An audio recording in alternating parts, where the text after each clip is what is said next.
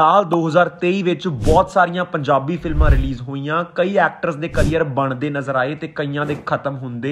Punjabi film industry ਦੇ 15 ਸਭ ਤੋਂ ਪਪੂਲਰ ਐਕਟਰਸ ਲਈ ਇਹ ਸਾਲ ਕਿਵੇਂ ਦਾ ਕਟਿਆ ਕਿਹੜੇ ਐਕਟਰ ਨੇ ਹਿੱਟ ਫਿਲਮਾਂ ਦੀ ਝੜੀ ਲਾ ਦਿੱਤੀ ਤੇ ਕਿਹੜੇ ਐਕਟਰ ਨੂੰ ਬੈਕ ਟੂ ਬੈਕ ਫਲॉप ਫਿਲਮਾਂ ਦਾ ਸਾਹਮਣਾ ਕਰਨਾ ਪਿਆ? ਇਹੀ ਜਾਣਨ ਦੀ ਕੋਸ਼ਿਸ਼ ਕਰਾਂਗੇ ਇਸ ਵੀਡੀਓ ਵਿੱਚ, ਜਿੱਥੇ ਆਪਾਂ ਐਕਟਰਸ ਨੂੰ ਇਸ ਸਾਲ ਮਿਲੀ ਕਾਮਯਾਬੀ ਦੇ ਬੇਸਿਸ ਤੇ ਰੈਂਕ ਕਰਨ ਦੀ ਵੀ ਕੋਸ਼ਿਸ਼ ਕੀਤੀ ਹੈ। ਪਿਛਲੇ ਸਾਲ ਐਮੀ ਵਿਰਕ ਦੀ ਫਿਲਮ ਸੌਂਕਣ ਸੌਂਕਣੇ ਸਾਲ ਦੀ ਸਭ ਤੋਂ ਵੱਧ ਕਮਾਈ ਕਰਨ ਵਾਲੀ ਪੰਜਾਬੀ ਫਿਲਮ ਬਣੀ ਸੀ। 50 ਕਰੋੜ ਦਾ ਆંકੜਾ ਪਾਰ ਕੀਤਾ ਸੀ ਇਸ ਫਿਲਮ ਨੇ, ਪਰ ਇਸ ਸਾਲ ਐਮੀ ਵਿਰਕ ਦੀਆਂ ਰਿਲੀਜ਼ ਹੋਈਆਂ ਤਿੰਨ ਫਿਲਮਾਂ ਜੋੜ ਕੇ ਵੀ 50 ਕਰੋੜ ਕ੍ਰਾਸ ਨਹੀਂ ਕਰ ਪਾਈਆਂ। ਅੰਨੀ ਦਿਆ ਮਜ਼ਾਕ ਹੈ ਤੇ ਗੱਡੀ ਜਾਂਦੀ ਏ ਛਲਾਂਗਾ ਮਾਰਦੀ। ਇਹਨਾਂ ਦੋਨਾਂ ਫਿਲਮਾਂ ਤੋਂ ਤਾਂ ਵੈਸੇ ਵੀ ਕੋਈ ਖਾਸ ਉਮੀਦ ਨਹੀਂ ਸੀ, ਪਰ ਨਿਰਾਸ਼ਾ ਹੱਥ ਲੱਗੀ ਮੌੜ ਫਿਲਮ ਦੇ ਫੇਲਿਅਰ ਦੇ ਨਾਲ। ਇਸ ਫਿਲਮ ਦੇ ਫੇਲ ਹੋਣ ਨਾਲ ਪੰਜਾਬੀ ਫਿਲਮ ਇੰਡਸਟਰੀ ਨੂੰ ਵੱਡਾ ਝਟਕਾ ਲੱਗਾ। ਲੋਕ ਡਰਨਗੇ, ਹੁਣ ਰਿਸਕ ਲੈਣ ਲੱਗਿਆ। ਤਿੰਨੋਂ ਫਿਲਮਾਂ ਫਲॉप ਹੋਣ ਨਾਲ ਐਮੀ ਵਿਰਕ ਦਾ ਸਕਸੈਸ ਰੇਟ ਬਣਿਆ 0% ਸਾਲ 2024 ਵਿੱਚ ਐਮੀ ਵਿਰਕ ਨੂੰ ਕੁਝ ਖਾਸ ਕਰਨਾ ਪਏਗਾ। ਦਰਸ਼ਕਾਂ ਦਾ ਭਰੋਸਾ ਵਾਪਸ ਜਿੱਤਣ ਲਈ। ਤੇਰੇ ਕੰਨਾਂ 'ਚ ਦੋ ਹੀ ਨਾਂ ਗੂੰਜਣਗੇ ਇੱਕ ਮੇਰੇ ਭਾਈ ਕਿਸ਼ਨੇ ਦਾ ਤੇ ਦੂਜਾ ਜੌਣੇ ਮੋੜ ਦਾ। ਗੁਰਨਾਮ ਪੁੱਲਰ ਦੇ ਲਈ ਸਾਲ 2023 ਸਿਨੇਮਾ ਘਰਾਂ ਵਿੱਚ ਨਿਰਾਸ਼ਾ ਭਰਿਆ ਰਿਹਾ। ਇਸ ਸਾਲ ਰਿਲੀਜ਼ ਹੋਈਆਂ ਉਹਨਾਂ ਦੀਆਂ ਦੋਨੋਂ ਫਿਲਮਾਂ ਨਿਗਾਹ ਮਾਰਦਾ ਆਈਵੇ ਤੇ ਪਰਿੰਦਾ ਪਾਰ ਗਿਆ। 2 ਕਰੋੜ ਦਾ ਆંકੜਾ ਵੀ ਪਾਰ ਨਹੀਂ ਕਰ ਪਾਈਆਂ ਤੇ ਬਾਕਸ ਆਫਿਸ ਤੇ ਮੂਦੇ ਮੂੰਹ ਡਿੱਗੀਆਂ। ਐਮੀ ਵਿਰਕ ਵਾਂਗ ਲੋਕਾਂ ਨੇ ਗੁਰਨਾਮ ਪੁੱਲਰ ਦੀਆਂ ਫਿਲਮ ਚੁਆਇਸਸ ਤੇ ਵੀ ਸਵਾਲ ਚੱਕੇ। ਜਿਸ ਤਰ੍ਹਾਂ ਐਮੀ ਵਿਰਕ ਨੇ ਬੈਕ ਟੂ ਬੈਕ ਹਿੱਟ ਫਿਲਮਾਂ ਦੇ ਨਾਲ ਆਪਣੇ ਕੈਰੀਅਰ ਦੀ ਸ਼ੁਰੂਆਤ ਕੀਤੀ ਸੀ, ਉੱਥੇ ਹੀ ਗੁੱਡੀਆਂ ਪਟੋਲੇ ਤੇ ਸੁਰਖੀ ਬਿੰਦੀ ਵਰਗੀਆਂ ਚੰਗੀਆਂ ਫਿਲਮਾਂ ਦੇਣ ਤੋਂ ਬਾਅਦ Gurnam Bhullar back to back flop films ਦੇਣ ਦੇ ਕਾਰਨ ਆਪਣੇ ਦਰਸ਼ਕ ਗਵਾ ਰਹੇ ਨੇ। ਸਾਲ 2023 ਵਿੱਚ 0% ਸਕਸੈਸ ਰੇਟ ਤੋਂ ਬਾਅਦ ਗੁਰਨਾਮ ਪੁੱਲਰ ਲਈ ਸਾਲ 2024 ਚੁਣੌਤੀ ਭਰਿਆ ਹੋਣ ਵਾਲਾ ਹੈ। ਮੈਂ ਕਹਿੰਨਾ ਤੂੰ ਵੀ ਕੋਈ ਨਾ। ਨੱਖਾ ਜਿਹਾ ਮੁੰਡਾ ਲੱਭ। ਉਹ ਬੰਦੂਕ ਕੱਢ ਲਿਓ ਸਰਗੁਣ ਮਹਿਤਾ ਵੱਲੋਂ ਪ੍ਰੋਡਿਊਸ ਕੀਤੀ ਗਈ ਫਿਲਮ ਸੌਂਕਨ ਸੌਂਕਣੇ ਨੇ, ਜਿੱਥੇ ਪਿਛਲੇ ਸਾਲ ਉਹਨਾਂ ਨੂੰ ਪੰਜਾਬੀ ਸਿਨੇਮਾ ਦੀ ਸਭ ਤੋਂ ਕਾਮਯਾਬ ਫੀਮੇਲ ਪ੍ਰੋਡਿਊਸਰ ਬਣਾ ਦਿੱਤਾ ਸੀ। ਉੱਥੇ ਸਾਲ 2023 ਉਹਨਾਂ ਲਈ ਓਨਾ ਹੀ ਮਾੜਾ ਸਾਬਿਤ ਰਿਹਾ। ਉਹਨਾਂ ਦੀਆਂ ਇਸ ਸਾਲ ਰਿਲੀਜ਼ ਹੋਈਆਂ ਦੋਨੋਂ ਹੀ ਫਿਲਮਾਂ ਨਿਗਾ ਮਾਰਦਾ ਆਈ ਵੇ ਤੇ Sidhus of Southall box office ਤੇ ਬੁਰੀ ਤਰ੍ਹਾਂ ਫਲॉप ਰਹੀਆਂ। ਦੋਨੋਂ ਹੀ ਫਿਲਮਾਂ ਨਾ ਤਾਂ ਰਿਲੀਜ਼ ਤੋਂ ਪਹਿਲਾਂ ਕੋਈ ਬਾਜ਼ ਕ੍ਰੀਏਟ ਕਰ ਪਾਈਆਂ ਤੇ ਨਾ ਹੀ ਰਿਲੀਜ਼ ਤੋਂ ਬਾਅਦ। ਦੋਨੋਂ ਫਿਲਮਾਂ ਦੇ ਫਲॉप ਹੋਣ ਦੇ ਨਾਲ ਉਹਨਾਂ ਦਾ ਸਕਸੈਸ ਰੇਟ ਸੀ 0% ਸਰਗੁਣ ਮਹਿਤਾ ਦੀਆਂ ਸਾਰੀਆਂ ਉਮੀਦਾਂ ਹੁਣ ਜੱਟ ਨੂੰ ਚੜੈਲ ਟੱਕਰੀ ਤੇ ਕੈਰੀ ਔਨ ਜੱਟੀਏ ਤੇ ਆ ਕੇ ਟਿਕੀਆਂ ਨੇ। ਮੈਂ ਸਫ਼ਾਈ ਨਾਲ ਚੋਰੀ ਕਰਦੀ ਸੀ ਤੇਰੇ ਵਾਂਗੂ ਲੰਡੂ ਚੋਰ ਨਹੀਂ ਮੈਂ। ਓ ਮੈਂ ਆਪਦੇ ਮੰਮੀ ਪਾਪਾ ਦੇ ਪਰਸ ਰੋਜ਼ ਵੈਸੇ ਚੋਰੀ ਕਰਦੀ ਸੀ। ਪੰਜਾਬੀ ਫਿਲਮਾਂ ਦੇ ਐਕਸ਼ਨ ਸਟਾਰ ਦੇਵ ਖਰੋੜ ਨੇ ਵੀ ਸਾਲ 2023 ਵਿੱਚ ਨਿਰਾਸ਼ ਹੀ ਕੀਤਾ। ਯਾਰਾਂ ਦਾ ਰੁਤਬਾ ਵੀ ਫਲॉप ਰਹੀ ਤੇ ਮੌੜ ਵੀ, ਹਾਲਾਂਕਿ ਮੌੜ ਵਿੱਚ ਉਹਨਾਂ ਦੀ ਅਦਾਕਾਰੀ ਦੀ ਖੂਬ ਵਾਹਵਾਈ ਹੋਈ, ਪਰ ਸ਼ਾਇਦ ਫਿਲਮ ਨੂੰ ਹਿੱਟ ਕਰਾਉਣ ਲਈ ਕੱਲੀ ਉਹਨਾਂ ਦੀ ਐਕਟਿੰਗ ਕਾਫੀ ਨਹੀਂ ਸੀ। ਸਾਲ 2023 ਵਿੱਚ 0% ਸਕਸੈਸ ਰੇਟ ਤੋਂ ਬਾਅਦ ਹੁਣ ਦੇਖਣਾ ਪਏਗਾ ਵੀ ਬਲੈਕੀਆ 2 ਤੇ ਉੱਚਾ ਦਰ ਬਾਬੇ ਨਾਨਕ ਦਾ ਇਹ ਫਿਲਮਾਂ ਦੇਵ ਖਰੋੜ ਦੀ ਬੇੜੀ ਨੂੰ ਅਗਲੇ ਸਾਲ ਪਾਰ ਲਾ ਪਾਉਂਦੀਆਂ ਨੇ ਜਾਂ ਨਹੀਂ। ਭਾਦੋਂ ਦਾ ਭਜਾਇਆ ਜੱਟ ਸਾਧ ਬਣਦਾ ਹੈ। ਜੇ ਸਾਧ ਨਾ ਨਾ ਬਣਿਆ ਤਾਂ ਡਾਕੂ ਤਾਂ ਪੱਕਾ ਬਣਦਾ ਹੈ। ਸਪੋਰਟਿੰਗ ਐਕਟਰ ਤੋਂ ਲੀਡ ਹੀਰੋ ਬਣੇ ਬੀਨੂ ਢਿੱਲੋਂ। ਇਸ ਸਾਲ 4 ਬਿਗ ਬਜਟ ਕਾਮੇਡੀ ਫਿਲਮਾਂ ਵਿੱਚ ਨਜ਼ਰ ਆਏ। ਮੌਜਾਂ ਹੀ ਮੌਜਾਂ, ਗੱਡੀ ਜਾਂਦੀ ਹੈ ਛਲਾਂਗਾ ਮਾਰਦੀ ਕੈਰੀ ਔਨ ਜੱਟਾ 3 ਤੇ ਗੋਲ ਗੱਪੇ।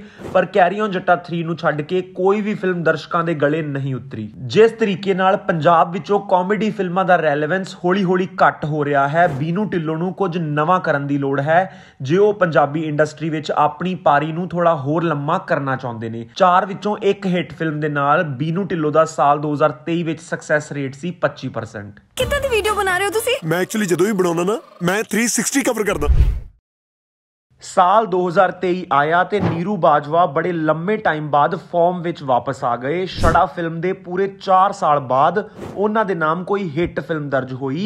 ਪਰ ਕਲੀ ਜੋਟਾ ਤੋਂ ਇਲਾਵਾ ਉਹਨਾਂ ਦੀਆਂ ਦੋ ਹੋਰ ਫਿਲਮਾਂ ਚੱਲ ਜਿੰਦੀਏ ਤੇ ਬੂਹੇ ਬਾਰੀਆਂ ਸਿਨੇਮਾ ਘਰਾਂ ਵਿੱਚ ਕੁਝ ਕਮਾਲ ਨਹੀਂ ਕਰ ਪਾਈਆਂ। ਤਾਰੀਫ ਕਰਨ ਵਾਲੀ ਗੱਲ ਹਾਲਾਂਕਿ ਇਹ ਹੈ ਵੀ ਨੀਰੂ ਬਾਜਵਾ ਪੰਜਾਬੀ ਸਿਨੇਮੇ ਦੀਆਂ ਹਾਸੇ ਠੱਠੇ ਵਾਲੀਆਂ ਫਿਲਮਾਂ ਤੋਂ ਇੱਕ ਪਾਸੇ ਆਪਣੀ ਅਲੱਗ ਲੀਗ ਸਟੈਬਲਿਸ਼ ਕਰ ਰਹੇ ਨੇ, ਪਰ ਦਰਸ਼ਕਾਂ ਵੱਲੋਂ ਹੁੰਗਾਰਾ ਹੌਲੀ-ਹੌਲੀ ਹੀ ਮਿਲ ਰਿਹਾ ਹੈ। ਤਿੰਨ ਵਿੱਚੋਂ ਇੱਕ ਸੁਪਰ ਹਿੱਟ ਫਿਲਮ ਕਲੀ ਜੋਟਾ ਦੇ ਨਾਲ ਨੀਰੂ ਬਾਜਵਾ ਦਾ 2023 ਵਿੱਚ ਸਕਸੈਸ ਰੇਟ ਸੀ 33% ਆਏ ਹਾਏ, ਸੋਹਣਿਓ, ਲਾਈਨ ਵਾਲੀ ਸ਼ਰਟ ਅੱਜ ਪੱਕਾ ਮਰੂ ਕੋਈ, ਹਾਏ। ਗਿੱਪੀ ਗਰੇਵਾਲ ਨੇ ਜਿੱਥੇ ਸਾਲ 2023 ਦੀ ਸਭ ਤੋਂ ਵੱਡੀ ਹਿੱਟ ਫਿਲਮ ਦਿੱਤੀ, ਉੱਥੇ ਸਾਲ 2023 ਦੀ ਸਭ ਤੋਂ ਵੱਡੀ ਫਲॉप ਵੀ ਉਹਨਾਂ ਦੀ ਚੋਲੀ ਹੀ ਆਈ।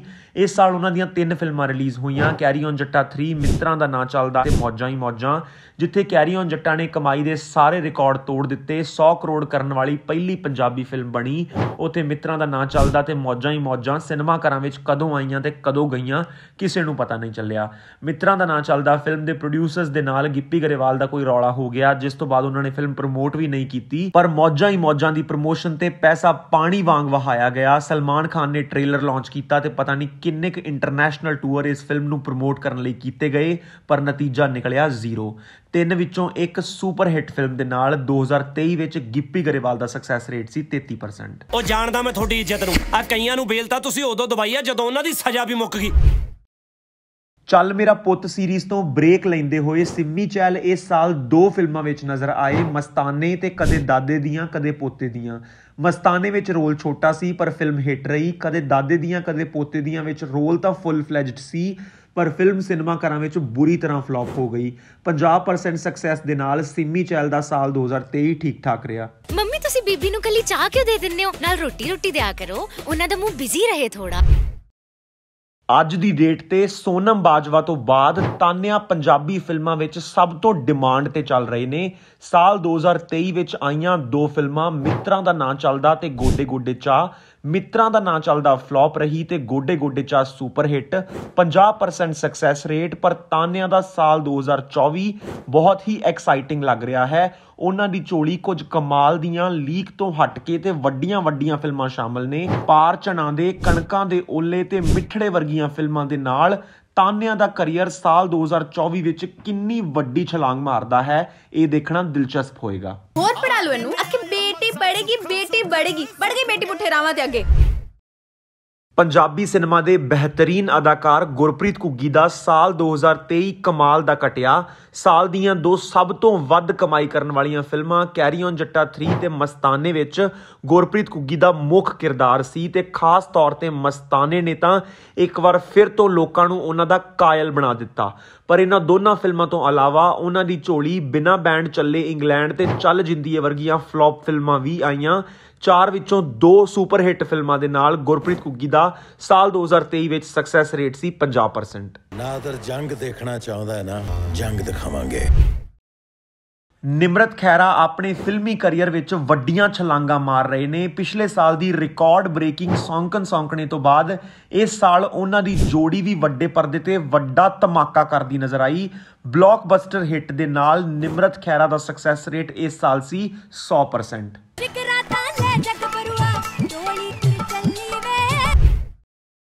ਸਾਲ 2023 ਵਿੱਚ ਪੰਜਾਬੀ ਫਿਲਮ ਇੰਡਸਟਰੀ ਨੂੰ ਇੱਕ ਨਵਾਂ ਸਟਾਰ ਮਿਲਿਆ। ਸ਼ੂਟਰ ਤੇ ਫਿਰ ਚੋਬਰ ਦੀ ਨਾਕਾਮਯਾਬੀ ਤੋਂ ਬਾਅਦ ਜੈ ਰੰਧਾਵਾ ਨੇ ਫਾਈਨਲੀ ਸਾਲ 2023 ਵਿੱਚ ਸਫਲਤਾ ਦਾ ਝੰਡਾ ਗੱਡਿਆ। ਉਹਨਾਂ ਦੀ ਮੈਡਲ ਫਿਲਮ ਨੇ ਥੀਏਟਰਸ ਦੇ ਵਿੱਚ ਤਹਿਲਕਾ ਮਚਾ ਕੇ ਹਰ ਕਿਸੇ ਨੂੰ ਹੈਰਾਨ ਕਰ ਦਿੱਤਾ। ਛੋਟੇ ਬਜਟ ਦੀ ਇਹ ਫਿਲਮ ਦੇ ਅੱਗੇ ਗੋਡੇ ਗੋਡੇ ਚਾਹ ਤੇ ਮੌੜ ਵਰਗੀਆਂ ਫਿਲਮਾਂ ਰਿਲੀਜ਼ ਹੋਈਆਂ, ਪਰ ਇਹ ਫਿਲਮ ਮੁਸ਼ਕਲ ਕੰਪੀਟੀਸ਼ਨ ਦੇ ਬਾਵਜੂਦ ਵੀ ਆਪਣੀ ਜ਼ਮੀਨ ਬਣਾ ਪਾਈ। ਜੈ ਰੰਧਾਵਾ ਨੂੰ ਮਿਲੀ 100% ਕਾਮਯਾਬੀ ਤੇ ਦਰਸ਼ਕਾਂ ਨੂੰ ਇੱਕ ਨਵਾਂ ਸੁਪਰਸਟਾਰ ਜਦੋਂ 골ਡ ਸਟਾਰ ਵਾਲੇ ਦੇ ਹੱਥ 'ਚ 30 ਦਾ ਸਟਾਰ ਆਉਂਦਾ ਨਾ, ਫਿਰ ਸ਼ਹਿਰ 'ਚ ਚੀਕਾਂ ਤਾਂ ਪੈਂਦੀਆਂ ਹੀ ਨੇ। ਕਾਮਯਾਬੀ ਦਾ ਦੂਜਾ ਨਾਮ ਦਿਲਜੀਤ ਦੋਸਾਂਝ ਹਰ ਸਾਲ ਦੀ ਤਰ੍ਹਾਂ ਇਸ ਸਾਲ ਵੀ ਇੱਕ ਹੀ ਪੰਜਾਬੀ ਫਿਲਮ ਲੈ ਕੇ ਆਏ ਤੇ ਉਸ ਫਿਲਮ ਨੇ ਕ੍ਰਿਟਿਕਸ ਤੇ ਦਰਸ਼ਕਾਂ ਨੂੰ ਖੂਬ ਖੁਸ਼ ਕਰ ਦਿੱਤਾ। ਦਿਲਜੀਤ ਦੋਸਾਂਝ ਤੋਂ ਕਾਫੀ ਟਾਈਮ ਤੋਂ ਦਰਸ਼ਕਾਂ ਦੀ ਕੰਪਲੇਂਟ ਸੀ ਵੀ ਉਹ ਪੰਜਾਬੀ ਫਿਲਮਾਂ ਵਿੱਚ ਕੋਈ ਸੀਰੀਅਸ ਰੋਲ ਕਿਉਂ ਨਹੀਂ ਕਰ ਰਹੇ, ਪਰ ਜੋੜੀ ਤੋਂ ਬਾਅਦ ਸਭ ਦੀ ਉਹ ਨਾਰਾਜ਼ਗੀ ਦੂਰ ਹੋ ਗਈ। ਜੋੜੀ ਵਿੱਚ ਦਿਲਜੀਤ ਦੋਸਾਂਝ ਦੇ ਕੰਮ ਨੂੰ ਪੰਜਾਬ 1984 ਵਰਗੀ ਹੀ ਵਾਹਵਾਈ ਮਿਲੀ। ਸੁਪਰ ਹਿੱਟ ਫਿਲਮ ਜੋੜੀ ਦੇ ਨਾਲ ਦਿਲਜੀਤ ਦੋਸਾਂਝ ਦਾ ਸਾਲ 2023 ਵਿੱਚ ਸਕਸੈਸ ਰੇਟ ਸੀ 100% ਸ਼ਾਇਦ ਸਾਲ 2024 ਵਿੱਚ ਵੀ ਦਿਲਜੀਤ ਦੋਸਾਂਝ ਕਈ ਰਿਕਾਰਡ ਤੋੜਦੇ ਨਜ਼ਰ ਆਉਣਗੇ। ਜਦੋਂ ਰਿਲੀਜ਼ ਹੋਣਗੀਆਂ, ਉਹਨਾਂ ਦੀਆਂ ਜੱਟ ਐਂਡ ਜੂਲੀਅਟ 3 ਤੇ ਚਮਕੀਲਾ ਵਰਗੀਆਂ ਫਿਲਮਾਂ। ਪਰ ਫਿਰ ਵੀ ਪਤਾ ਨਹੀਂ ਮੇਰਾ ਵਾਰ-ਵਾਰ ਜੀ ਕਰੀ ਜਾਂਦਾ ਕਿ ਮੈਂ ਪੁੱਛੀ ਜਾਵਾਂ। ਤੀ ਤਿਹਾ ਤੀ ਤਿਹਾ ਗਲਵਕੜੀ ਤੇ ਮਾਂ ਦਾ ਲਾਡਲਾ ਵਰਗੀਆਂ ਨਾ ਕਾਮਯਾਬੀਆਂ ਤੋਂ ਬਾਅਦ ਤਰਸੇਮ ਜੱਸੜ ਨੇ ਵੀ ਇਸ ਸਾਲ ਸਫਲਤਾ ਦਾ ਸਵਾਦ ਚੱਖਿਆ। ਮਸਤਾਨੇ ਦੇ ਨਾਲ ਤਰਸੇਮ ਜੱਸੜ ਨੇ ਆਪਣੇ ਕੈਰੀਅਰ ਦੀ ਹੁਣ ਤੱਕ ਦੀ ਸਭ ਤੋਂ ਵੱਡੀ ਹਿੱਟ ਫਿਲਮ ਦਿੱਤੀ ਤੇ ਦਿਲਜੀਤ ਦੋਸਾਂਝ, ਅਮਰਿੰਦਰ ਗਿੱਲ ਤੇ ਐਮੀ ਵਿਰਕ ਵਰਗੇ ਸਟਾਰਸ ਦੀਆਂ ਫਿਲਮਾਂ ਨੂੰ ਪਿੱਛੇ ਛੱਡਦੇ ਹੋਏ ਉਹਨਾਂ ਦੀ ਮਸਤਾਨੇ ਸਾਲ 2023 ਦੀ ਸੈਕਿੰਡ ਹਾਈਐਸਟ ਗ੍ਰੋਸਰ ਬਣੀ।